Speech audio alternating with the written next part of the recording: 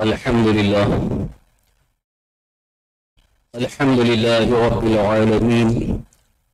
والصلاة والسلام على سيد الأنبياء والمرسلين وعلى آله وأصحابه أجمعين. أما بعد قال النبي صلى الله تعالى عليه وسلم بسم الله الرحمن الرحيم. من أحدث في أمرنا هذا ما ليس منه فهو رد.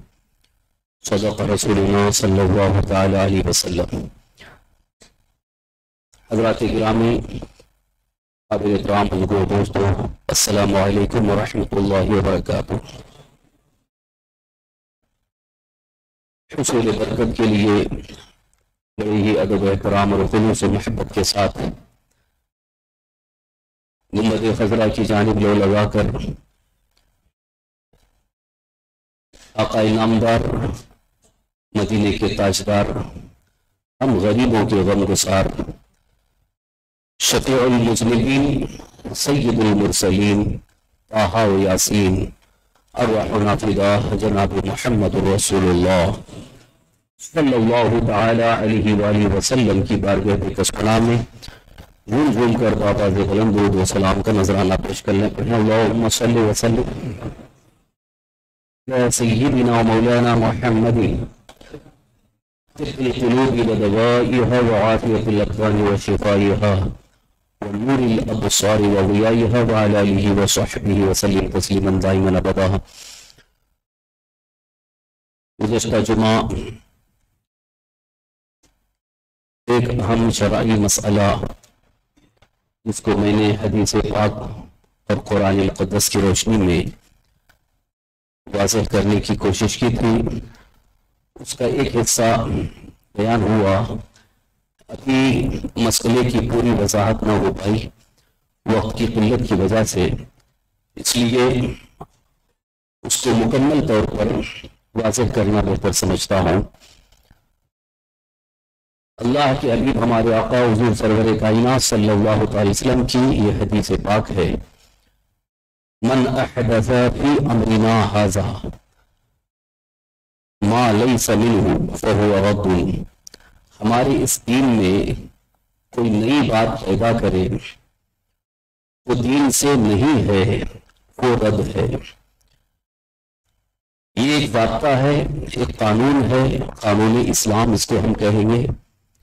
کیونکہ اللہ کے رسول صلی اللہ علیہ وسلم نے ہمارے لیے جو احکام اللہ تعالیٰ کی بارگاہ سے لے کر آئے، وہ سب کامل اور مکمل ہیں۔ احکام میں کسی قسم کی کوئی کمی باقی نہ رہ گئی کہ اس کی تکمیل کی ضرورت ہو۔ ایک حدیث پاک کا مفہوم بھی ہے، اللہ کے رسول صلی اللہ علیہ وسلم نے اس کو طور سمجھایا کہ ایک شخص ایک مکان تعمیر کرتا ہے اور مکان تعمیر کر کے اگر کچھ حصہ چھوڑ دیتا ہے تو ابھی وہ ناقص ہے۔ جیسے مثال کے طور پر ایک آخری اینٹ کی ضرورت ہے، وہ اینٹ رکھ دیں گے تو کام مکمل ہو جائے گا۔ ایسے ہی جتنے انبیاء دنیا میں تشریف لائے اللہ تعالیٰ کی بارگاہ سے احکام لے کر کے آئے، بندوں کی ہدایت، رہنمائی کے لیے آئے۔ لیکن ان سے دین مکمل نہیں ہو پایا تھا۔ آخری ایک اینٹ باقی رہ گئی تھی۔ اللہ نے مجھے بھیجا، وہ مکمل ہو گئی۔ اس سے ختم نبوت کا بھی اعلان ہوا کہ اللہ کے حبیب، ہم سب کے آقا، حضور سرور کائنات صلی اللہ علیہ وسلم، اللہ کے آخری نبی ہیں۔ کوئی نبی نہیں آنے والا۔ کیونکہ دین کی مکمل ہو گیا اور انبیاء کا سلسلہ بھی حضور پر ختم کر دیا گیا تاکہ پھر کسی کو انتظار نہ رہے کہ ابھی کچھ کمی ہے پوری کرنے کے لیے کوئی اور آئے گا۔ سرکار عالم صلی اللہ علیہ وسلم خاتم النبیین بن کر تشریف لائے۔ حضور کا خاتم النبیین ہونا یہ قرآن و حدیث سے حتمی طور پر، یقینی طور پر ثابت ہے اسی لیے ہم مسلمان اللہ کے حبیب اور حضور رحمت عالم صلی اللہ تعالی وسلم کو خاتم النبیین مانتے ہیں یعنی اللہ کے آخری نبی ہے اب کوئی نبی نہیں آ سکتا۔ حضور بھی خاتم النبیین ہوئے اور دین بھی مکمل ہو گیا۔ تو اب اس میں کسی قسم کی کوئی کمی نہیں رہ گئی۔ تو اس لیے حضور نے فرمایا کہ اب اگر کوئی نئی بات لاتا ہے دین کے اندر، جو کہ دین سے نہیں ہے وہ رد کی جائے گی۔ یہاں پر جو سب سے زیادہ غور کا مقام ہے اکثر لوگ جو اس میں دھوکہ کھاتے ہیں، یہ ہے، وہ یہ کہتے ہیں کہ کوئی بھی نئی بات، کوئی بھی نئی بات پیدا کرنا، یہ اللہ کے رسول صلی اللہ علیہ وسلم نے رد فرمایا یعنی اس کی تردید کی جائے، اس کو منع کیا جائے، اسے بیک آؤٹ کیا جائے۔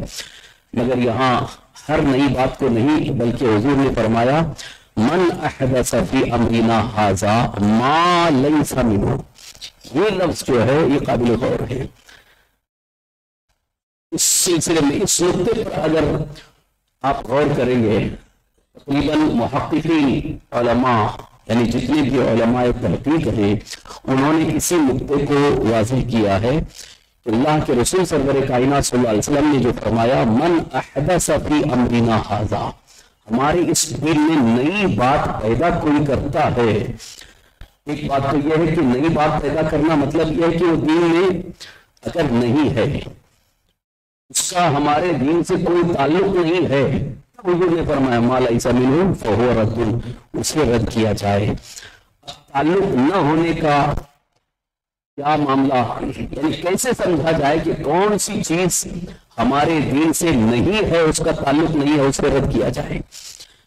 یہ قابل غور مقام ہے، کیونکہ یہاں پر لوگ جو دھوکہ کھا رہے ہیں اور جس بنیاد پر ہر چیز کو نئی بات نئی بات کہہ کر کے رد کرنے کی کوشش کی جا رہی ہے یہ ان کی اصلاح کے لیے میں عرض کرنا چاہوں گا۔ آج کل کچھ پڑھے لکھے لوگ جو ہے، وہ حدیث پر بہت زیادہ گفتگو کرنے لگے ہیں۔ اس لیے حدیث کی تحقیق آپ کے سامنے پیش کر رہا ہوں۔ جو حضرات تعلیم یافتہ ہیں، پڑھے لکھے ہیں، وہ اس پر ضرور اتفاق کریں گے کیونکہ ان کی اپنی تحقیق ہے۔ لیکن حدیث کی تحقیق میں، کیونکہ حدیث تو فرمان مصطفیٰ ہے، اللہ کے رسول صلی اللہ علیہ وسلم کا فرمان ہے، ہر ایک عینو غیرو کوئی بھی اس میں جو ہے، اپنی دماغ اپنی عقل سے، اپنے دماغ سے، اپنی رائے سے کوئی فیصلہ اس کو توڑ نہیں سکتا کہ یہاں یہی مراد ہے یا یہی چیز ہے۔ بلکہ اس کو جو علم حدیث کے جو ماہرین ہیں ایکسپرٹس ہیں، ان سے معلوم کیا جائے کہ یہاں کیا معاملہ ہے اور کس چیز کو حضور نے رد فرمایا۔ اس کی وجہ یہ ہے کہ جو حدیث کے ماہرین ہوتے ہیں، ان کی نظر ساری حدیثوں پر ہوتی ہے۔ آج کل ہوتا کیا ہے، گڑبڑی کیوں ہوتی ہے؟ کہ کتاب میں یا کہیں پر ایک حدیث مل گئی تو آدمی سوچتا ہاں یہ حدیث ہے، بس اس کو فوراً اپنا خیال اپنی رائے ظاہر کرنے لگتا ہے، اس کا یہ مطلب۔ حالانکہ ایک حدیث سامنے آتی ہے تو اس پر فوراً کوئی رائے قائم نہیں کی جا سکتی، جب تک کہ اس کے متعلق اور ساری حدیثیں اس کے نظر میں نہ ہوں۔ یہ بہت ہی اہم نقطہ ہے جس کو آپ ذہن میں رکھ کر کے آپ اس کو صحیح سمجھ سکتے ہیں۔ یہ میں اس لیے عرض کر رہا ہوں کہ کبھی کبھی کچھ لوگوں نے ایسی ایسی باتیں حدیث پاک کے حوالے سے پیش کی کہ جن کو دیکھنے کے بعد ایسا لگتا ہے کہ ان کی نظر حدیث سے گزری ہی نہیں ہے۔ حدیث پاک کی گہرائی سے ان کا کوئی تعلق نہیں، یہ الٹا پلٹا کچھ بھی لوگوں کو مشورہ پیش کرتے ایسے ہی لوگوں کے بارے میں اللہ کے رسول صلی اللہ علیہ وسلم نے اشارت فرمایا کہ جو اپنی عقل، اپنی رائے، اپنی ہی سمجھ سے کوئی گڑھ کر کے حدیث پیش کرتے ہیں تو ان کا ٹھکانہ جہنم ہوگا۔ اس لیے بچے اللہ کا خوف، اللہ کے رسول صلی اللہ علیہ وسلم کا خوف ہو کہ حدیث مصطفیٰ صلی اللہ علیہ وسلم کی تحقیق میں حدیث مصطفیٰ صلی اللہ علیہ وسلم کا معنی اور اس کا مفہوم متعین کرنے میں ساری حدیثوں پر جب نظر ہوگی تب وہ صحیح معنی اس کا سامنے آ سکتا ہے۔ اس کی میں کئی مثالیں آپ کے سامنے پیش کر سکتا ہوں۔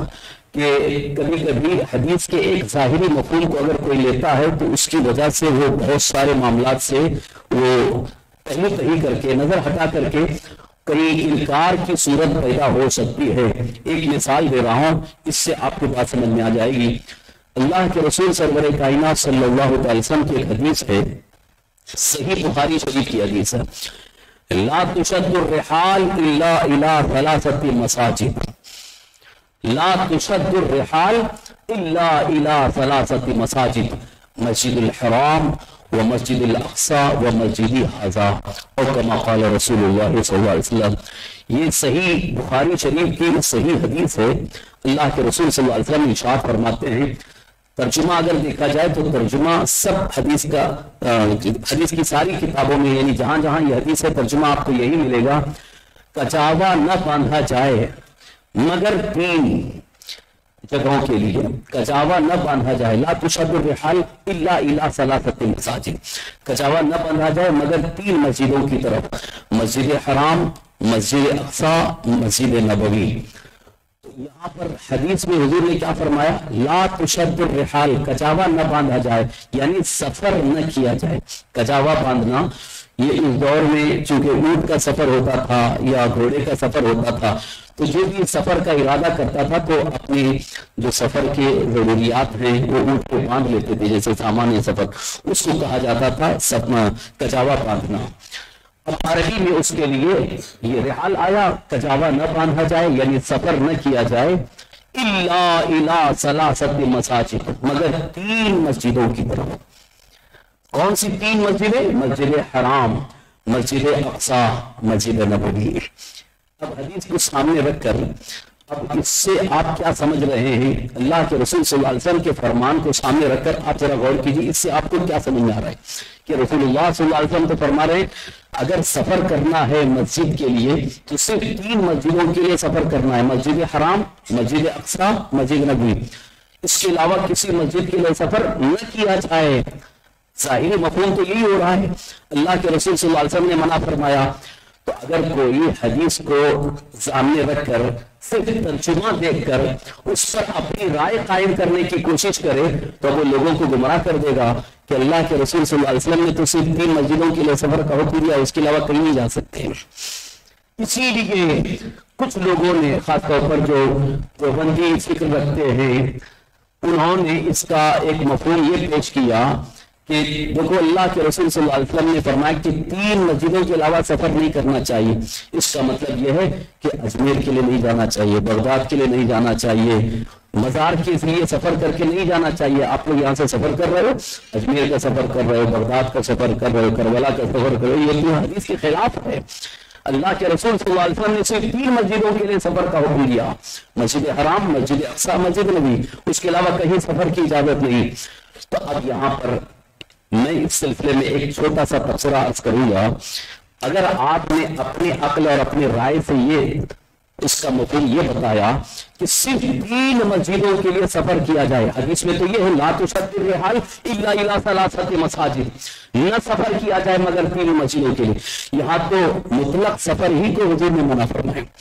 مطلق سفر یعنی اگر کہیں کا بھی آپ کو سفر کرنا سفر کی اجازت نہیں ہے، صرف تین مسجدوں کے لیے سفر کر سکتے ہیں۔ اس کا مطلب آپ اپنے گاؤں کے لیے بھی سفر نہیں کر سکتے۔ یہاں سے آپ کو اپنے وطن جانا ہے تو بھی نہیں سفر کر سکتے۔ یا آپ کو کسی کام کے لیے کسی دوسرے ملک جانا ہے، آپ نہیں سفر کر سکتے، کیونکہ حضور نے حدیث میں منع فرمایا۔ یہ ہوتا ہے، یہ بہت بڑی غلطی ہے۔ حدیث پاک کو نہ سمجھنے کی وجہ سے اگر کوئی اپنے عقل اور اپنے رائے سے حدیث کا معنی یہ حدیث کا مفہوم متعین کرنے جاتا ہے، تو یہ اس طرح کی گمراہی اس کے ساتھ ہاتھ لگتی ہے کہ وہ جو جنہوں نے کہا کہ تین مسجدوں کے علاوہ کہیں سفر نہیں کرنا چاہیے اور اپنی عقل سے پیش کر رہے ہیں کہ اجمیر کا سفر کرنا حرام ہے، بغداد کا سفر کرنا حرام ہے، کربلا کا سفر کرنا حرام ہے، بریلی شریف جانا حرام ہے، یہ دلی جانا حرام ہے۔ مگر یہ سفر کی بات آپ اگر حدیث پاک سے یہی لے رہے ہو، سفر کا یہی مفہوم لے رہے ہو، تو پھر کہیں کا بھی سفر کرنا حرام ہو جائے گا۔ صرف اجمیر، بغداد، بریلی ہی کیوں سب جگہ کا سفر حرام ہونا چاہیے۔ اور آپ کے لیے چلے کے لیے کہیں بھی آپ جا رہے ہیں تو آپ کے لیے سفر جاری ہو رہے ہیں۔ یہاں سے لے کے آپ بھوپال جا رہے ہیں، دلی جا رہے ہیں، اٹلی جا رہے ہیں اور بنگلور جا رہے ہیں۔ یہ تو چلے کا سفر ہو رہا ہے۔ یہ کہاں سے، کون سی حدیث سے آیا ہے؟ حدیث پاک میں جب سفر کرنا حرام ہے، صرف مسجد حرام، مسجد نبی مسجد افسا اس کے علاوہ کہیں کا سفر جائز نہیں ہے، تو ہم آپ سے یہ بھی کہیں گے کہ آج سے چلے کے لیے سفر کرنا بھی بند کر دیجیے سارے سفر بند کر دیجیے میرے بھائی، یہ حدیث کا یہ مفہوم نہیں ہے۔ اس لیے میں نے کہا کہ کسی حدیث کو سمجھنا ہے تو اللہ کے رسول صلی اللہ علیہ وسلم کا فرمان ہے ایک حدیث کو سامنے رکھ کر کے آپ کو اپنے عقل سے فیصلہ نہیں کرنا ہے۔ اللہ کے رسول صلی اللہ علیہ وسلم کی لاکھوں حدیثیں موجود ہیں۔ لاکھوں حدیثیں موجود ہیں۔ چھ لاکھ حدیثیں تو حضرت امام بخاری کو یاد تھی لاکھ حدیثوں کے حافظ سے امام بخاری رحمۃ اللہ علیہ۔ جن کی صحیح بخاری ہم لوگ مدرسوں میں پڑھتے ہیں، جس میں تقریباً ساڑھے چار ہزار کے قریب حدیثیں ہیں۔ وہ امام بخاری چھ لاکھ حدیثوں کے حافظ ہیں، لیکن یہاں دیکھیے حدیث پاک کو پیش کرنے کے بعد ہر محدث کی ذمہ داری نہیں ہے کہ اپنی طرف سے اپنی عقل اور اپنی رائے سے کوئی معنی متعین کر کے بتا دے، بلکہ یہ کام فقہا کا ہوتا ہے۔ جن کو کتاب اللہ یعنی قرآن کریم کے اندر جو احکام کی آیات ہیں یعنی جن سے احکام فرض، واجب وغیرہ احکام ثابت ہوتے ہیں ان احکام کی آیات کی تفسیروں کا مکمل علم حاصل ہو اور ساتھ ہی ساتھ حدیثوں کا ساری حدیثیں جن سے احکام ثابت ہیں، وہ ان کی نظر میں ہوں۔ اور پھر حدیثوں کا ایک مخصوص علم ہوتا ہے اسماء الرجال۔ اسماء الرجال کا علم جو ہے، حدیثوں کے متعلق کہ اس حدیث کے راوی کون کون ہیں۔ کس نے پہلے یہ حدیث بیان کی؟ ان کے بعد کس نے؟ ان کے بعد کس نے؟ انہوں نے کس سے سنا ہے؟ تو یہ راویوں کے حالات کو جاننا ایک مخصوص علم ہوتا ہے فن ہے، اس کو اسماء فن اسماء رجال کہا گیا۔ تو یہ فن جس کو حاصل ہوتا ہے، وہ فقیر کہلاتے ہیں۔ پھر وہ تمام حدیثوں کو سامنے رکھ کر اس کا ایک مفہوم اور اس کا ایک معنی متعین کرتے ہیں۔ اسی لیے اس حدیث پاک کے بارے میں جو ابھی میں نے صحیح بخاری شریف کی حدیث پیش کی ہے، جو محدثین میں بہت مشہور اور فقیر بھی ہیں، حضرت علامہ بدر الدین عینی رحمۃ اللہ تعالی علیہ، جنہوں نے بخاری شریف کی شرح کی ہے، جن کو شارح بخاری کا لقب دیا گیا۔ انہوں نے اس حدیث کا مفہوم یہ بتایا، ساری حدیثوں کو سامنے رکھ کر کہ اللہ کے رسول صلی اللہ علیہ وسلم یہ اشارت فرما رہے ہیں، اگر آپ کو زیادہ ثواب حاصل کرنے کی نیت سے کہیں کا سفر کرنا ہے تو وہ صرف تین مسجدیں ہیں۔ پوری دنیا میں صرف تین مسجدیں ایسی ہیں کہ جہاں زیادہ ثواب ملے گا۔ جیسا کہ حضور نے فرمایا ایک دوسری حدیث میں، مسجد حرام میں ایک نماز کا ثواب ایک لاکھ کے برابر ہے۔ یہ زیادہ سواب لے بھائی؟ تو اگر زیادہ ثواب حاصل کرنا ہے تو مسجد حرام ہے، جہاں ایک لاکھ کا ثواب آپ کو مل رہا ہے۔ اور مسجد اقصا ہے، مسجد نبوی ہے۔ مسجد اقصا میں بھی پچاس ہزار کا ذکر ہے اور ایک روایت میں مسجد نبوی میں بھی پچاس ہزار کا ثواب ہے۔ تو یہ ایک لاکھ ثواب یا پچاس ہزار ثواب ایک نیکی پر حاصل کرنا ہے، تو یہ صرف تین مسجدیں ہیں اللہ کی پوری زمین پر، جہاں اتنا ثواب مل سکتا ہے۔ اور باقی ساری مسجدوں کا ایک ہی حکم ہے۔ حضور صلی اللہ علیہ وسلم کی حدیث کا آپ کو مفہوم سمجھ میں آ رہا ہے زیادہ ثواب حاصل کرنے کے لیے جانا ہے تو اب دلی جا کر کے آپ پڑھیں گے، وہاں بھی اتنا ہی ثواب ملے گا جتنا یہاں مل رہا ہے۔ آپ اگر صرف جا کر کے پڑھیں گے، وہاں بھی اتنا ہی ثواب ملے گا جتنا آپ کو یہاں ثواب مل رہا ہے۔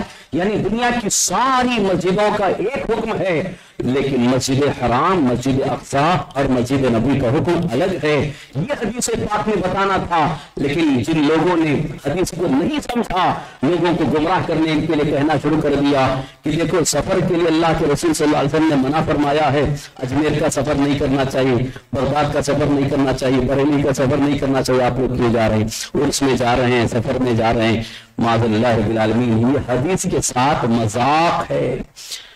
اللہ اور اس کے رسول کے فرمان کا استحصا ہو رہا ہے، مذاق کیا جا رہا ہے۔ اس لیے حدیث پاک کو سمجھنے کے لیے جو حدیث پاک کے جو ماہرین ہیں ایکسپرٹس ہیں، محدثین ہیں فقہا ہیں، ان کی نظر میں اس حدیث کا معنی اور مفہوم کیا ہے۔ اسے دیکھا جائے، عزیزان محترم آج کل کچھ لوگوں کو تھوڑا بہت شوق پیدا ہو گیا دین کا علم حاصل کرنے کے لیے تو نکلے، کہاں سے دین کا علم حاصل کر رہے ہیں؟ گوگل میں۔ آج کل گوگل سب کے لیے ایک بہت بڑا استاد بن گیا۔ گوگل میں ریسرچ کریں گے سرچ کریں گے گوگل میں کہ اس کا کیا معنی ہے۔ تو گوگل جو ہے وہ کوئی بہت بڑا محدث ہے، گوگل کوئی بہت بڑا عالم ہے۔ گوگل پر یہ جو کمپنی ہے، گوگل، جس میں ساری چیزیں نالج جمع کی گئی ہیں، کس نے جمع کیا، کس کا ہے؟ یہ کا ہے۔ یہودیوں نے دنیا کی ساری زبانوں کو اور دنیا کے بہت سارے انسانوں کے مزاج، ان کے سارے معاملات کو اور خاص طور پر دین اور اسلام کے متعلق بہت ساری چیزوں کو انہوں نے لے کر کے اس میں ڈال دیا ہے تاکہ کبھی بھی کسی کو اگر دین کے بارے میں معلومات حاصل کرنا ہو تو گوگل میں سرچ کر کے معلوم حاصل کر سکتا ہے۔ عزیزان محترم، آپ کو یہ بات بتاتے ہوئے میں آپ کو تنبیہ بھی کرنا چاہتا ہوں، خاص طور پر ہماری قوم کے وہ نوجوان جو تعلیم یافتہ ہو کر یہ سمجھ رہے ہیں کہ گوگل سے ہمیں ہدایت مل جائے گی۔ ہرگز نہیں، بلکہ گوگل سے انسان گمراہ ہو جائے گا اور اس کے گمراہ ہونے میں کوئی شک ہی نہیں ہے۔ اس لیے کہ جو اسلام کو یہودی سمجھا رہے ہیں، وہ اسلام آپ سمجھ رہے ہیں۔ لیکن ہم اس اسلام کو سمجھا رہے ہیں جو اللہ کے رسول نے ہمیں سمجھایا۔ اسلام کو اگر سمجھنا ہو، اللہ کے دین کو سمجھنا ہو، قرآن و حدیث کو سمجھنا ہو، تو گوگل سے سمجھنے کی ضرورت نہیں ہے۔ یہودیوں سے سمجھنے کی ضرورت نہیں، اس لیے کہ یہودی تو بہت پہلے سے اسلام کے دشمن رہے۔ یہودی بہت پہلے سے انہوں نے اسلام کی جڑوں کو کھوکھلی کرنے کا پورا مشن تیار کیا ہے، منصوبہ تیار کیا ہے اور اسی کے مطابق وہ کام کر رہے ہیں۔ اور ہمارے مسلمان بھائی جو بہت زیادہ اپنے آپ کو تعلیم یافتہ سمجھتے ہیں انٹلیکچل سمجھتے ہیں، وہ کہیں نہ کہیں جا کر کے یہودیوں کے گوٹ میں بیٹھے ہوئے ہیں۔ اس لیے کہ ان کو اسلام وہاں سے مل رہا ہے۔ اسلام وہاں سے مل رہا ہے، یہی وجہ ہے۔ آج میں بڑی ذمہ داری کے ساتھ عرض کر رہا ہوں، جنہوں نے یہودیوں سے اسلام سیکھا ہے یا یہودیوں سے جنہوں نے اسلام سیکھنے کی کوشش کی ہے، ان کا رشتہ گنبد خزرہ سے کٹ گیا ہے۔ نبی پاک صلی اللہ علیہ وسلم کی غلامی کو انہوں نے اٹھا کر پھینک دیا ہے اور آج مکمل یہودیت کو اختیار کر کے اس کے مطابق چل رہے ہیں۔ صرف ہندوستان کی بات نہیں، بلکہ سعودی عربیہ، جہاں سے اسلام کی نشر و اشاعت اصل ہوئی ہے مکہ مکرمہ، حجاز مقدس، جہاں سے اسلام پھیلا، پوری دنیا میں آج وہاں بھی یہودی پوری طرح سے قابل ہو چکے ہیں۔ ان کے ذہن دماغ پر وہ ایسے چھا گئے ہیں کہ وہاں وہی کہی وہی بات کہی جا رہی ہے جو یہودی کہتے ہیں۔ لیکن انہیں اس بات کا احساس نہیں ہے کہ اللہ کے نبی ہمارے آقا حضور سرور کائنات صلی اللہ علیہ وسلم کی حدیثوں کا مفہوم جو اللہ کے محبوب بندوں نے صحابہ کرام، تابعین تبع تابعین ایمہ مشتہدین اولیاء کاملین، بزرگان دین، جن پر اللہ کا خصوصی فضل تھا۔ جن پر اللہ کا خاص انعام تھا، انہوں نے حدیثوں کا کیا مفہوم ہمیں بتایا۔ اس سے بالکل صرف نظر کر رہے اس سے بالکل اپنی نگاہیں ہٹا کر کے نیا دین سامنے لانے کی کوشش کر رہے ہیں۔ گرامی، آج کے اس ماحول میں، آج کے اس موسم میں آپ سے میں بڑی معذرت کے ساتھ یہ بات عرض کرنا چاہوں گا کہ ہمارے درمیان یہودیوں نے بے پناہ اختلافات پیدا کر دیے ہیں۔ اتنا انتشار پیدا کر دیا ہے، اتنا انتشار پیدا کر دیا ہے کہ آج ہماری قوم علماء اہل سنت جو معتمد ہیں، جو قابل قدر ہیں، قابل احترام ہیں، قابل اعتماد ہیں، ان سے بھی لوگ دور ہو رہے ہیں کہ ہم کو ان مولویوں سے کیا علم حاصل کرنا ہے؟ ہمارے پاس تو یوٹیوب ہے، ہمارے پاس گوگل ہے، ہمارے پاس نیٹ ہے اور یہاں سے ہم بہت ساری چیزیں حاصل کر سکتے ہیں۔ یہ بہت بڑی گمراہی کا ایک دروازہ کھل چکا ہے اور جو اس دروازے تک پہنچ رہے ہیں، وہ واپس آنے کے لیے تیار نہیں، کیونکہ انہیں گمراہیت اچھی لگ رہی ہے۔ لہذا اللہ تعالیٰ کا جس پر خصوصی فضل و کرم ہوتا ہے، وہی گمراہیت سے محفوظ رہتا ہے۔ اس کے لیے سب سے بہتر نسخہ آپ کو میں بتا رہا ہوں، اور آپ اس پر دن رات بیٹھ کر کے غور کر لیں۔ اگر واقعی دل کے اندر اللہ اور اس کے رسول پر کامل ایمان ہے، تو آپ بھی اس سے اتفاق کریں گے کہ اگر واقعی صحیح معنوں میں تین کے مسئلے کو سمجھنا ہے تو اللہ کے ولیوں کی بارگاہ میں آؤ۔ ان اولیاء اللہ نے اسلام کو بڑی قربانی کے ساتھ ہم تک پہنچایا، بڑی قربانیاں دی۔ اور اسلام کو بڑے اچھے انداز میں ہم تک پہنچایا۔ ان کی کتابیں بھی موجود ہیں، ان کی تحریریں موجود ہیں، ان کی سیرت و سوانے ان کی زندگی کے سارے معاملات موجود ہیں۔ لہذا انہوں نے ہمیں اسلام کو کیسے سمجھایا؟ انہی کی طرف ہم رجوع کریں۔ انشاءاللہ ہم خالص اللہ کے دین پر قائم رہیں گے۔ تو میں یہ عرض کر رہا تھا کہ حدیث پاک کو سمجھنے کے لیے آپ کو گوگل میں جانے کی ضرورت نہیں ہے۔ گوگل سے بہت سارے حوالے مل سکتے ہیں ریفرنس مل سکتے ہیں کہ یہ حدیث کہاں ہے، کون سی کتاب میں ہے۔ ابھی تو بہت ساری چیزیں چینجنگ بہت ساری آ چکی ہے کیونکہ اب انسان یہ دیکھ رہا ہے کہ حدیث اگر پیش کرتے ہیں تو سب سے پہلے پوچھتے ہیں، حدیث کا نمبر کیا ہے؟ حدیث کا نمبر کیا ہے؟ مطلب نمبر اتنا اہم ہو گیا ہے، حدیث کا معنی اور مفہوم اتنا اہم نہیں ہے، نمبر انہیں اہم ہو گیا ہے۔ نمبر پوچھتے ہیں کہ یہ حدیث کا نمبر کون سی کتاب کا ہے؟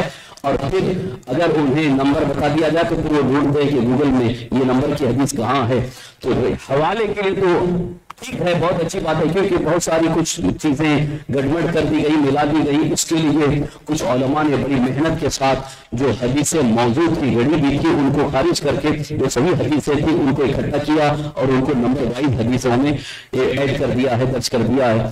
بہرحال صرف اور صرف نمبر کی طرف توجہ دینے کے بجائے جو حدیث پاک سامنے آ جائے، اس حدیث پاک کا صحیح معنی اور مفہوم بزرگان دین سے ہمیں کیا ملتا ہے، اس کی طرف توجہ دینے کی کوشش کریں۔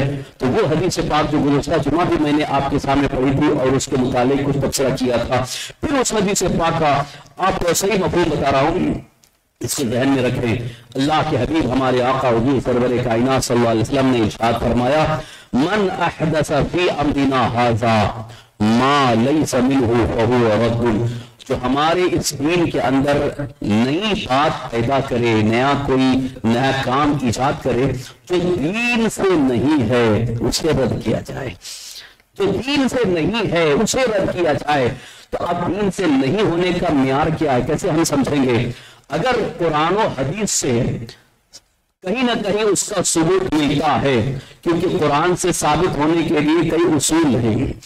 تمام کو نے کئی اصول بنائیں کہ قرآن سے ثابت ہے، یا تو اشارت النس سے ثابت ہوگا، عبارت النس سے ثابت ہوگا، دلالت النس سے ثابت ہوگا، یا اقتداء النس سے ثابت ہوگا، یہ اصول ہیں جو فتح کے اصول میں بیان کیے جاتے ہیں۔ تو اگر کوئی حکم، کوئی مسئلہ قرآن کریم کے اندر ثابت ہے، قرآن کریم کی کسی آیت سے اگر اقتداء النس سے ثابت ہے اور اس کی تائید میں کوئی حدیث پاک ملتی ہے اور اس زمانے سے یعنی صحابہ، تابعین تبع تابعین علماء امت کا اجماع یعنی جس پر سب کا اتفاق ہوا، اگر اس مسئلے پر متفق بھی ہو گئے، سمجھ جاؤ یہ دین سے ہی ہے، یہ دین سے کے خلاف نہیں ہے۔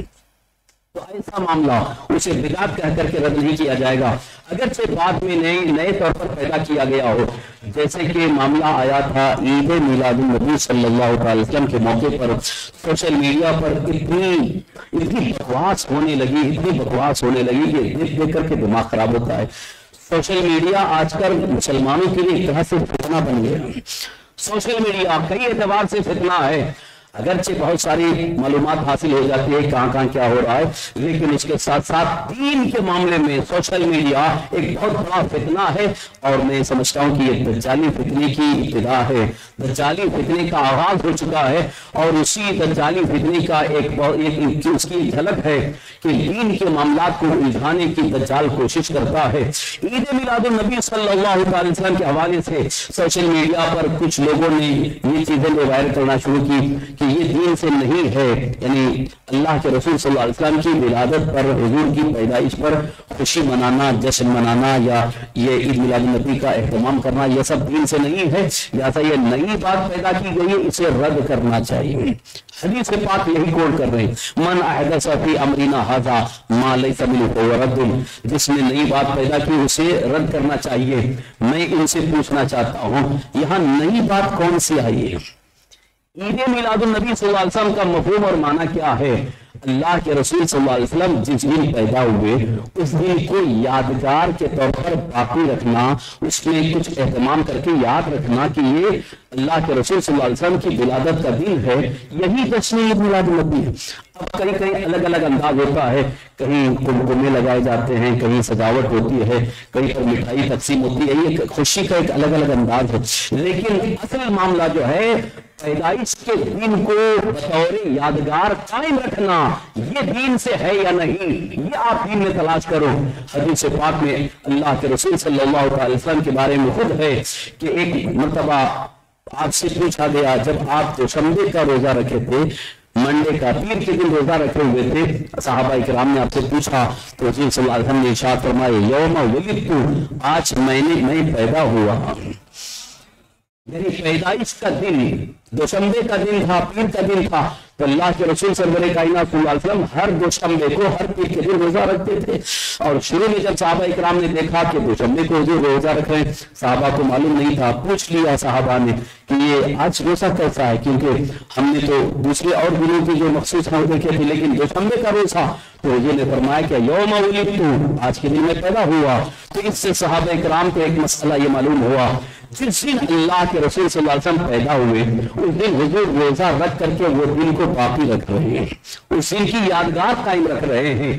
اب اس سلسلے میں ایک دلیل تو یہاں سامنے آ گئی کہ دن کو باقی رکھا جائے، یادگار قائم کی جا سکتی ہے۔ اب خوشی منانے کے جو آج انداز ہیں، اس کو لے کر کے اب اس پر اعتراض ہوتا ہے، سوال ہوتا ہے آرگومنٹ کیا جاتا ہے۔ اللہ کے رسول صلی اللہ علیہ وسلم نے تو روزہ رکھا تھا۔ آپ تو یہاں جلوس نکال رہے آپ خوشیاں منا رہے آپ جشن منا رہے ہو۔ اب یہ سب سجا رہے یہ کہاں سے حضور نے کیا تھا؟ حضور نے تو صرف روزہ رکھا تھا۔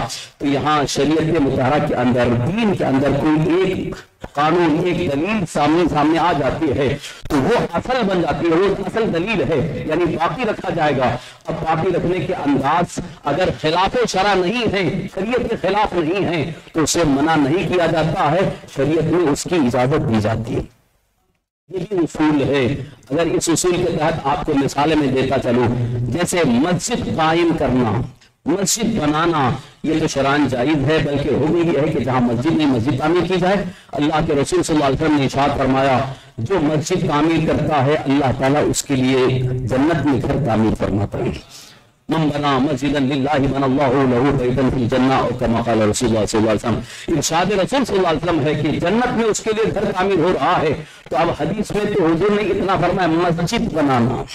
مسجد بنانا اتنا ہی حدیث میں ہے۔ لیکن مسجد کو اتنی عالیشان بنایا جائے، مسجد کے اوپر مینارے لگائے جائیں، مسجد میں سنگ مرمر لگائے جائیں، مسجد کے اندر قالین بھی بچھایا جائے، مسجد میں جھومر لگایا جائے، یہ تو کئی حدیث میں نہیں ہے۔ یہ ساری چیزیں کہاں سے آ گئی اب اگر ان سے پوچھا جائے کہ مسجد کے اندر یہ جو مرکب لگانا ہے، اے سی لگانا ہے، جھومر لگانا ہے، قالین بچھانا ہے، مسجدوں کے اوپر مینار لگانا ہے، یہ کون سی حدیث سے ثابت ہے؟ تو نہیں وہ تو صرف مسجد کی ضرورت کے تحت لگا رہے ہیں۔ تو بات یہی ہے کہ اصل حکم تو ایک آ گیا حدیث پاک میں، مسجد بنائی جائے، لہذا جس طرح عالی شان مسجد بنائی جائے تاکہ لوگ اللہ کی عبادت کے لیے مسجد کی طرف مائل ہو سکیں، تو شریعت اس کی اجازت دیتی ہے۔ ہے لہذا جس بھی رسول پاک صلی اللہ علیہ وسلم کی ولادت ہوئی۔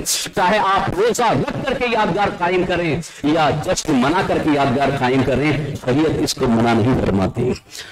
اصول اصول ہے۔ اصول ضابطے کے تحت اگر آپ چلیں گے تو انشاءاللہ یہ دین کے خلاف نہیں ہے، بلکہ اللہ کے دین کے مطابق ہے۔ لہذا اس حدیث کو یہاں پھر کر کے رد کرنے کی کوشش نہ کریں۔ جن لوگوں کو ابھی بھی بات سمجھ میں نہیں آ رہی ہے، وہ آ کر کے بیٹھیں انشاءاللہ ساری حدیثیں سامنے رکھ کر کے سمجھنے کی کوشش کریں۔ اور اگر واقعی کسی کو بہت زیادہ سمجھ میں آ گیا ہے، میں انہیں دعوت دینا چاہتا ہوں کہ وہ آ کے ہم کو سمجھا لیں۔ ہم کو سمجھا لیں کہ ہم غلط راستے پر ہیں یا ہم غلط انداز سے آپ کو بیان کر رہے ہیں اور الحمدللہ بڑی ذمہ داری کے ساتھ عرض کر رہا ہوں کہ صرف اور صرف میں نہیں میں تو چھوٹا طالب علم ہوں۔ الحمدللہ اکابر علماء، ایسے ایسے عظیم علماء جن کی بلندی کو دیکھنے کے لوگوں کی پگڑیاں نیچے گر جائیں، اتنے عظیم علماء نے اس میلاد مصطفیٰ کے جواز اور اس کے مستحسن ہونے پر فتوے بھی دیے ہیں اور بے شمار دلیلیں اور کتابیں بھی لکھی۔ ہیں اس کو دین سے نہ کہہ کر کے رد کرنے کی کوشش کرنا یہ انتہائی جہالت اور نادانی ہے۔ عزیزان محترم، انشاءاللہ پھر کبھی موقع ملا تو مزید کچھ تفصیلات اس کے حوالے سے عرض کی جائیں گی۔ بہرحال، دین کے اندر کوئی ایسی بات جس کا قرآن و حدیث سے دور دور تک کہیں تعلق نہیں ہے یعنی جس کے جائز ہونے کے متعلق یا مباح یا مستحسن ہونے کے متعلق کہیں کوئی دلیل نہیں ہے۔ علماء نے کہیں اس کے بارے میں کوئی ثبوت ہی نہیں پیش کیا ہے اور ایسی بات نہیں کوئی اگر دین کے اندر پیدا کرتا ہے تو وہ قابل رد ہے، اسے رد کیا جائے گا۔ جیسے اس کی مثال میں آپ کے سامنے پیش کر کے رد کے لیے آپ کو لگانا چاہتا ہوں۔ اگر رد کرنے کا شوق ہے جو شادی بیاہ میں ڈھول بجانا ہے، یہ سے رد کرو۔ اس لیے کہ کسی حدیث میں نہیں ہے کہ قرآن کریم کی کسی آیت سے ثابت نہیں ہے۔ علماء بزرگان دین، اکابر بزرگان دین نے کبھی اس کی اجازت یا جواز کا کہیں کوئی حکم نہیں دیا ہے۔ اس کے لیے تو کبھی نہیں بولتے کہ ڈھول بجانا حرام ہے۔ مت بجاؤ۔ جہاں ڈھول بجایا جا رہا وہاں کل جی آ کے نکاح پڑا رہے ہیں۔ میلاد مصطفیٰ کے لیے ہم نے سجایا تو پیٹ میں درد شروع ہو جاتا ہے۔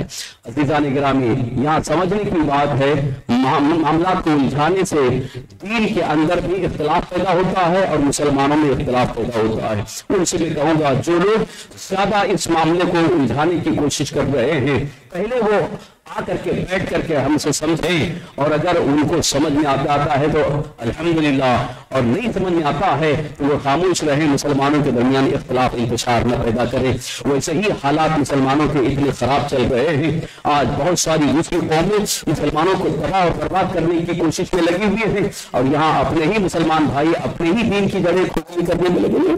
اپنے ہی درمیان اختلاف، انتشار اور اپنے ہی درمیان دشمنی پیدا کرنے میں لگے ہوئے ہیں۔ یہ حرام ہے، وہ ناجائز ہے، وہ بدعت ہے، یہ شرک ہے، صرف یہی کام رہ گیا ہے۔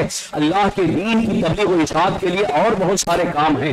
جہاں جہاں برائیاں پھیل رہی ہیں یا علاقے کے اندر ہمارے معاشرے میں اگر کوئی ایسی خلاف شرع، خلاف دین کوئی چیزیں پنپ رہی ہیں، انہیں مل کر کے رد کیا جائے، انہیں بند کیا جائے اور انہیں ختم کرنے کی کوشش کی جائے۔ اللہ تعالی ہم سب کو شریعت مصطفیٰ کو صحیح طریقے سے سمجھنے کی توفیق عطا فرمائے۔ اور تمام گناہوں، برائیوں سے اور تمام زبان بدینوں سے اللہ ہم سب کو محفوظ رکھے۔ آخری سانس تک اللہ ہمیں ایمان پر زندہ رکھے، ایمانی پر خاتمہ نشی فرمائے۔ آمین، بجاہ نبی امین علیہ الصلوۃ والسلام۔ حضرت